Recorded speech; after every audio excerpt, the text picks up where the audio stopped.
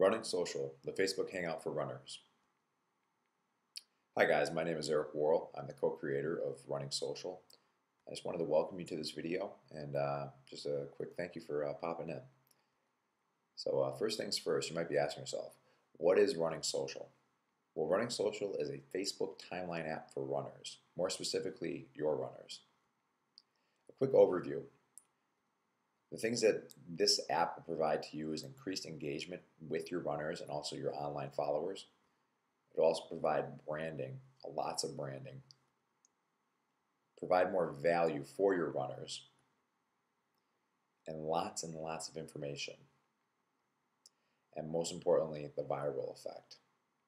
All right, let's take a look at a uh, case study of one particular uh, running store that's located in Buffalo, New York.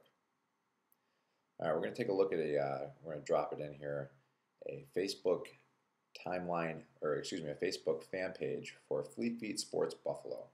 As you can see, this is a pretty well done uh, page. Uh, they have a good amount of likes, so people that are paying attention to them. Uh, they got some uh, events, maps, photos, and all other information that's required. Uh, this is the most important part of your Facebook fan page. This is the very top of it. This is what gets the most visibility from your viewers. So you want to maximize your timeline apps, which are the likes, the map, and the events that you see there. Uh, one thing you notice is that the uh, map is actually also listed, that information is listed under sports and recreational activities.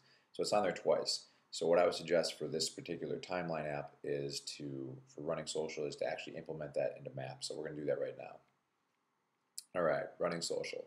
So now let's click on the actual uh, timeline app and then uh, go from there and see, show you what it can do for you. All right, so now we've clicked on the timeline app running social and we're inside of the program. So here we are, as you can see, it's kind of a fun little design.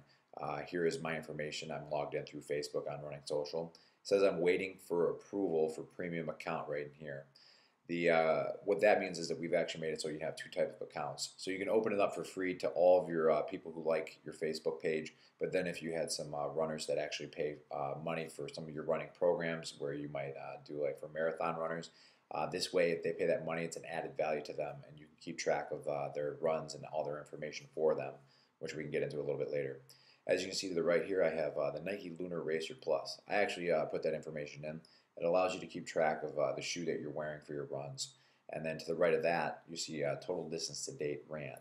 So these two things combined is great information for a store owner because you can know how many miles that your runners have put on the shoes that they're wearing and all that information. So say you know that shoe runs out in a certain mileage, you can send them maybe a Facebook notification or an email letting them know that they're getting close and those shoes need to be uh, replaced soon. So moving further down, uh, here's a quick map that shows you your uh, latest uh, run location. And over here, this is real neat. This is your latest run, all the information that's involved with it. You have start time, end time, total time, distance ran, weather, temperature, terrain, and mood. Uh, right here, we have a leaders board, as you can see.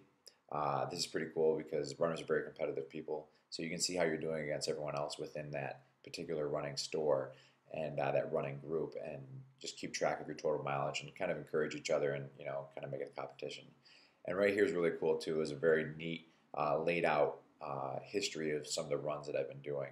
So uh, you can just look through all your runs and you can see uh, exactly what you ran on, what your times were like, and all that information, which is very pertinent. So let's go back up to the top and actually we're going to click on add a run and go through through the next steps now.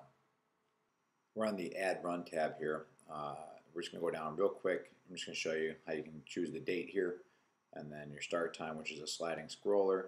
We'll say we did a run at 5.30 in the morning, being ambitious. End time, we'll say was 6.08. Uh, distance, um, well, let's say it's uh, 45 minutes and I run a fast pace. I ran a 9.1 mile course this evening this morning. And then real quick, just weather. It was a little rainy. It was 64. My mood, eh, I was pretty happy to wake up this morning. I ran on the road, and then if you want, you can put the address in. I'm just going to put in, uh, let's say uh, Chestnut Ridge. Here we go, cool. And submit. So this information gets put in. As you can see, the uh, location shows right here. This is my latest run now. And is up my total mileage from 113 to 122.9. But it actually gets a lot cooler than this, and I'm going to show you that in the next step. So this is a really cool feature. I've actually taken a snippet right off of my Facebook wall and uh, superimposed it here for you to take a look at. Uh, every single time one of your runners who uh, is part of your Facebook fan page chooses to post a run, it'll actually go right to their Facebook wall if they let it. So the cool thing about this is not only where it says running social in there and a little bit of information, we can put your branding in there, but also the viral effect. So all of their friends and uh, all the people that they're friends with online will be able to see that they ran and that they ran with your running stores group. It's a really cool way to get your brand name out there and just kind of get the uh, constant repetition of seeing your brand name and putting that in the forefront of not only your runners, but your runners' friends, family, and everyone else.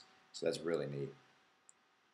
And then just taking a uh, look at this last page, we just want to do a little recap as far as some of the uh, benefits of this. So the increased engagement, obviously you can see that people are going to be engaging with your uh, Facebook uh, fan page quite a bit more.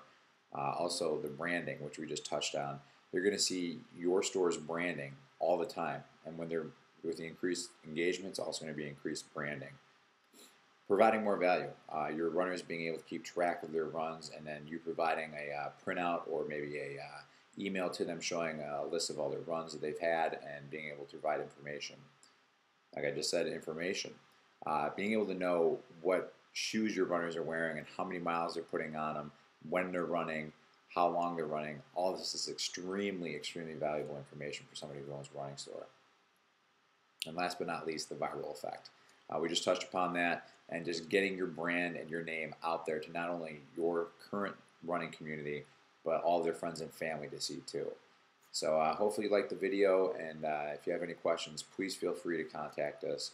Be more than happy to talk, and uh, take care. Thanks.